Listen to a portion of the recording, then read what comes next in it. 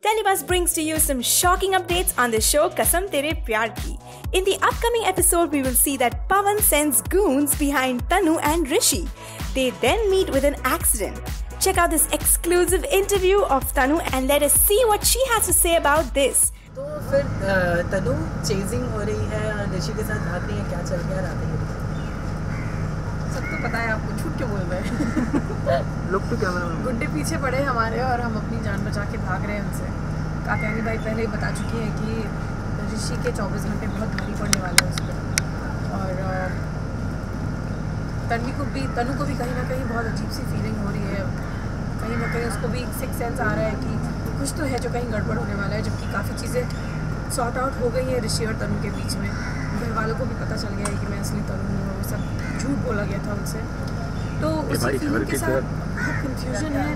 Confusion के साथ थोड़ा सा रोमांस भी है दोनों के बीच में क्योंकि 24 घंटे भी नहीं हुए अभी शादी के।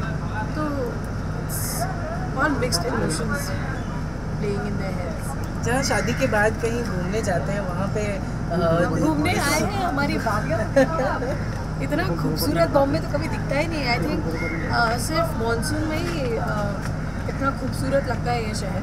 एंड मौसम में शूट करने का भी मज़ा अलग है। ऋषि से तो मैं दूर नहीं होंगी।